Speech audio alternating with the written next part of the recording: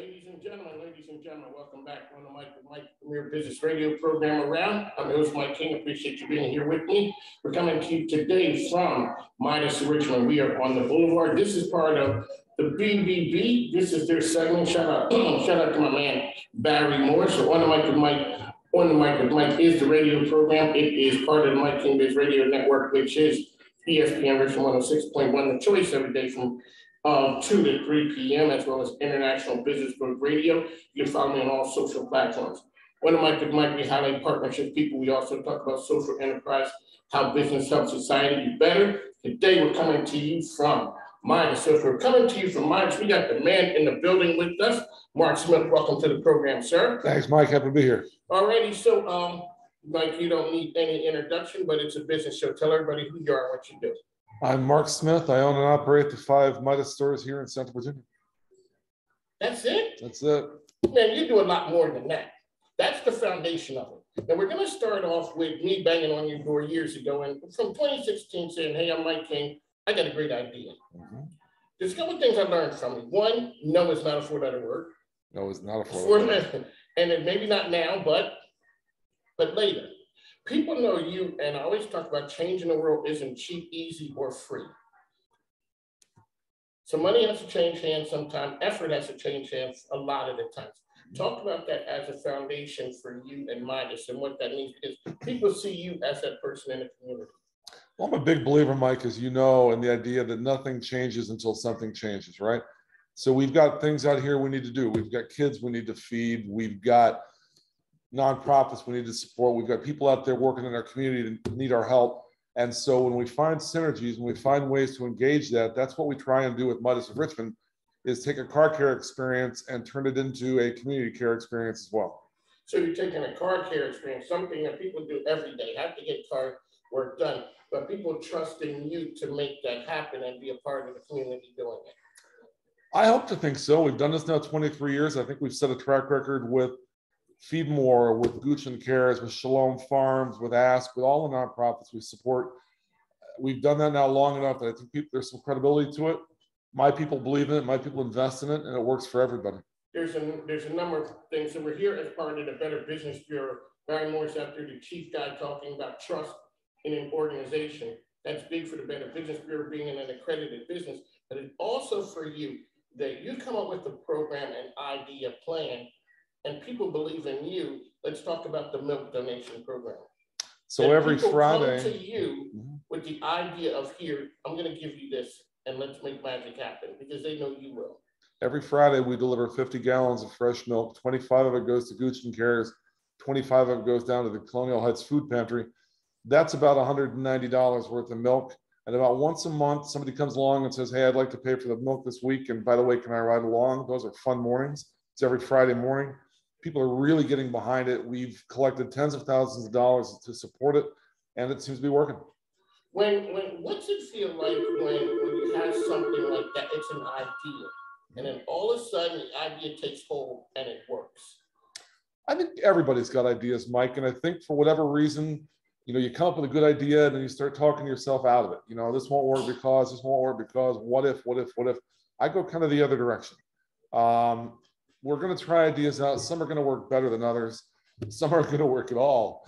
But if you work these things out and you build around them, sooner or later you come up with things that work. And that's kind of how we've built community network that Midas Richmond's known for. When you look at that community now, has it changed any what you see and what people do with now as opposed to say 20 years ago or 15 years ago? Oh, it's changed it sooner than that. You know, COVID. I think COVID has rewritten so many rules, some of which we kind of have our heads around, and some of which we probably still don't. You know, three years from now, we're going to be talking about this big COVID impact, how it changed how we do business, how it changed how we market, how it changed how we go about market share. Um, change is kind of a constant, it's a given. So you've got to be willing to kind of look at what you do and adapt as you go along to accommodate whatever's coming your way.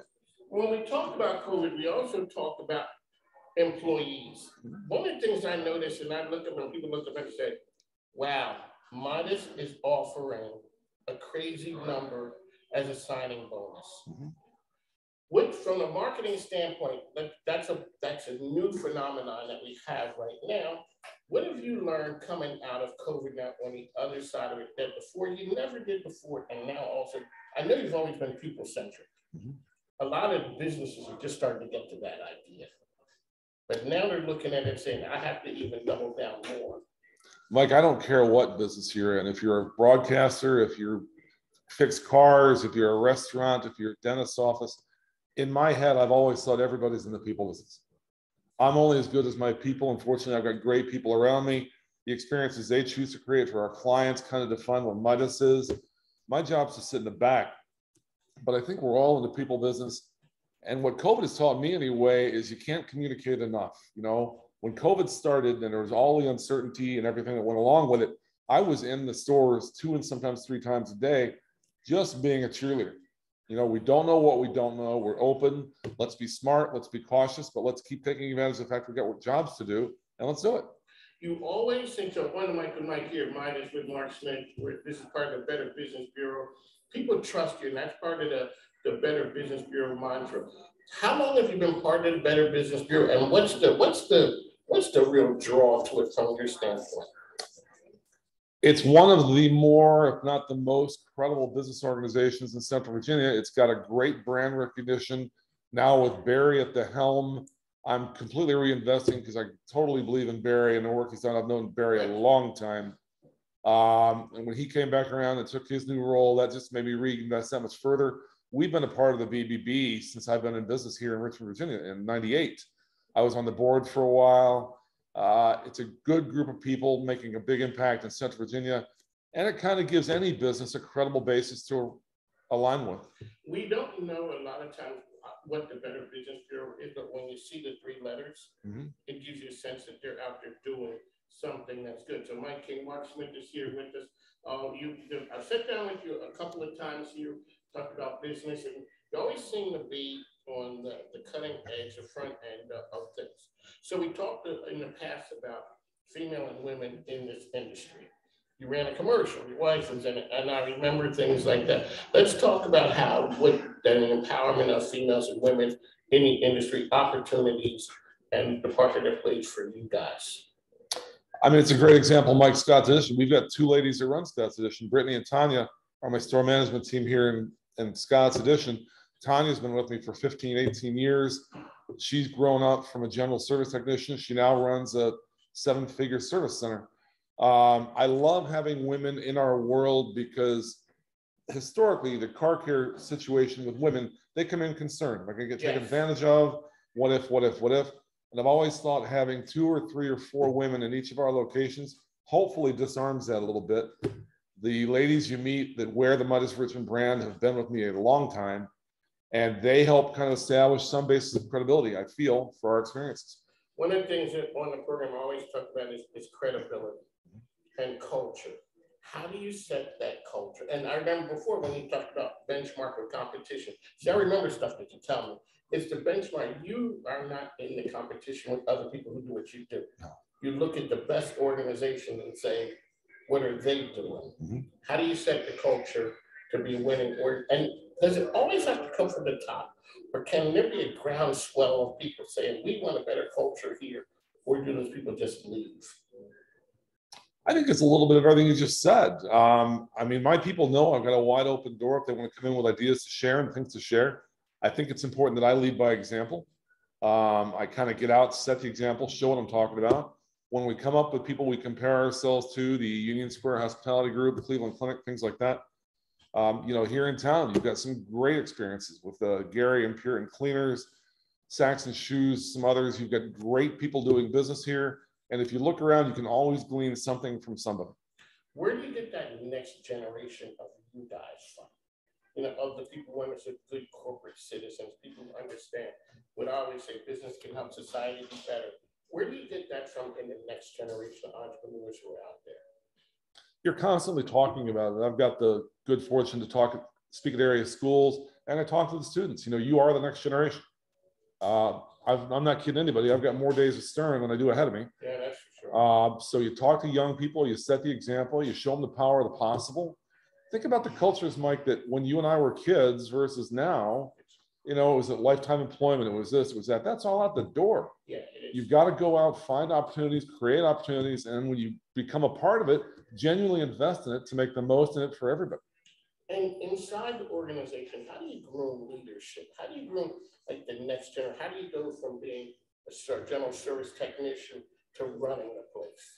Uh, Tanya is uh, studying perseverance. She's she's gone up levels, she's gone up skill sets, and she's done that all of her own volition. We create the opportunity, but I can't make people walk through doors. You know, if you if you want to come in and grow, we will create the avenue that allows you to grow. But growth is a choice. I can't force you to grow.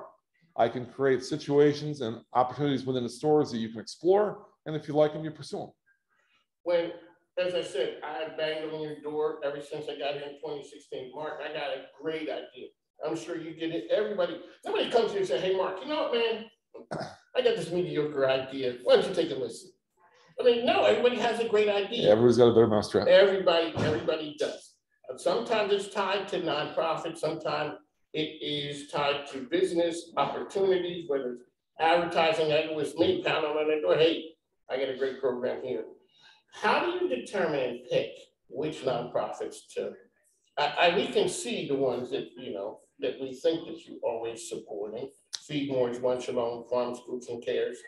How do you pick those or the next ones that, that say, hey, these touch my heart, I gotta do something for them?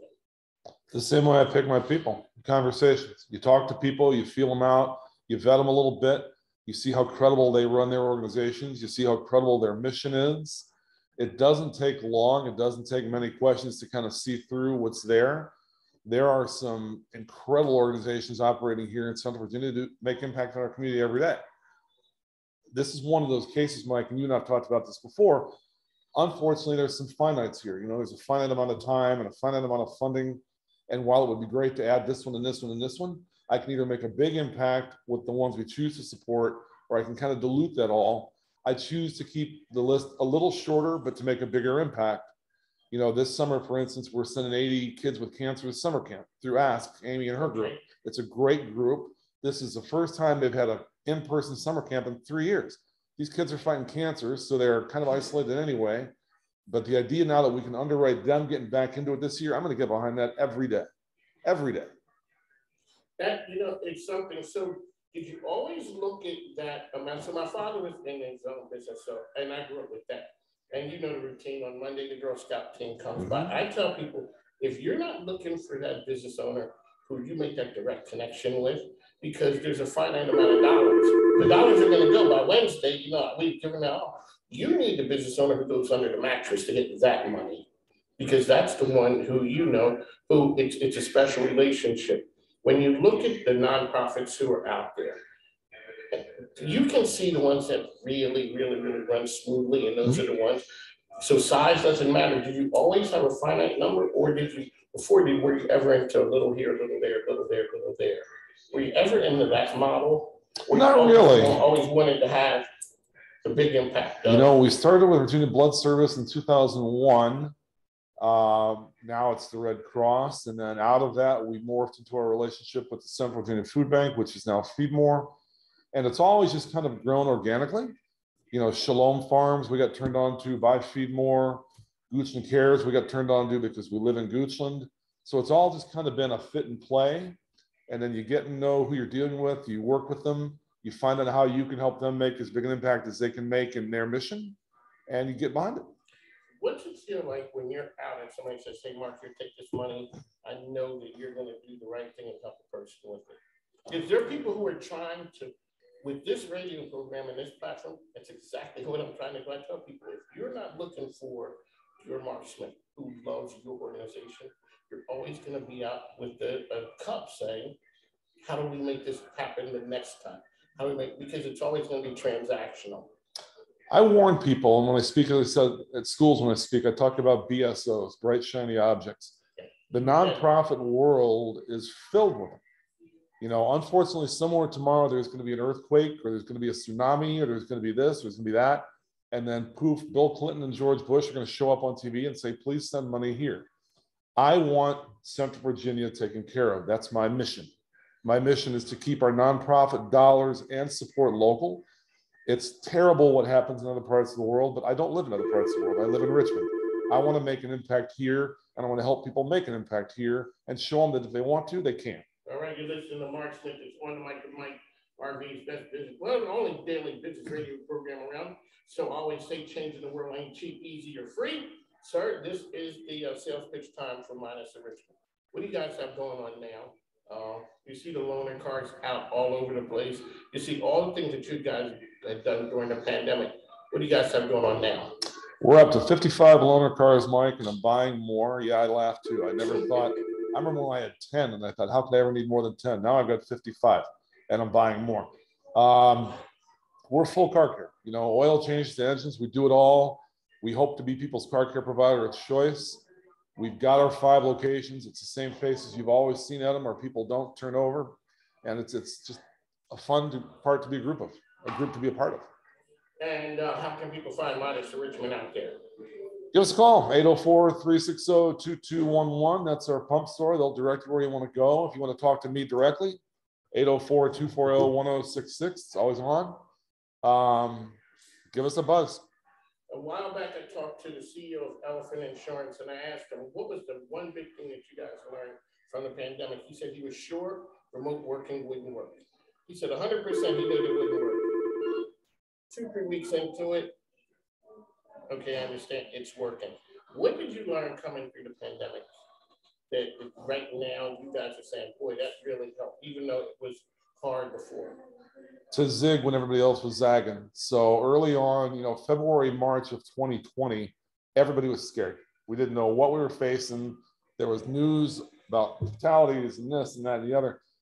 By April, May of 2020, I kind of started seeing everybody running scared, duck and cover. I called our marketing guy and said, We're going the opposite direction. We're going back in. Let's double our radio flighting and let's add a fourth TV station, which we did and we've stuck with that course, we've stuck that path, and business is booming. I'm happy to say we've got more than we can deal with. Is that when you went to the marketing campaign and we'll bring the cars to you and mm-hmm. leave the, More to your door. Yep. We went right after it and we've reaped the benefits of it. We have more business than we can handle, which is a, either a good, bad problem or a bad, good problem. I don't know. But we're, yeah, we're, as you can see, the bays are full and we're rocking. On the mic, Mike Marcus here, so I'd like to thank you. Anything, uh, words of wisdom for nonprofits or business owners out there? Oh, really quickly before we go, let's talk about, you know, making magic happen, making dreams happen. Entrepreneurs are out there. You're going, they're going through a period, they wanted to jump into the deep water, like me. Even though I grew up with the family, always own their business. I had no burning desire. I was good as a salesperson. Mhm. There's a lot of stuff out here, you know, when, when you're the guy, Mhm. you know, it's a lot, a lot different. So what, which words of wisdom or something can you give to entrepreneurs who are out there? Maybe they're going through a tough time, or maybe they're just thinking about pulling the trigger. You know, get a network. The best thing I've got going for me, Mike, is the network of people I talk to. You certainly among them. Barry and his team at Feedmore at uh, BBB, the Virginia Council CEOs. I'm a big part of my own network inside the stores. If you've got an idea, run with it. Get people out there to listen to you. Get people out there to build a relationship and a network with. Mentor when you can. I'm happy to say I mentor several kids and I get really enjoy it. Um, but kind of be the change you seek. And I think you'll pleasantly surprise yourself with what you can create. There you go, Mark Smith, Mike King here. This is part of the Barry Moore, this is Barry Moore's time. The man Barry Moore, this is five AM on Monday. We kicked the week off right with Barry Moore here. Uh, he also has an outstanding facility. When Barry Moore came back to uh, Richmond, I'm like, okay, I'm on board. He's the man. He was giving me tips when I was over at the TV station that I always remember. And look at me now. Here I am. There you go. Sitting with Mark Smith. One of Mike, Mike, Mike King here, part of the Mike King Radio Network. Make sure you go check out my man, uh, Barry Moore. They have facilities up there, uh, trust in the organization, trust in business, that's the foundation. We'll talk to you soon. As I always say, uh, the microphone ain't free, plus my grandkids need stuff. So make sure you take a listen to our sponsors and advertisers. You Gotta show some love to the folks out there. Absolutely. That's how we do it here. One of Mike, Mike, we'll talk to you soon. Thanks, man. Take care. Take care, folks.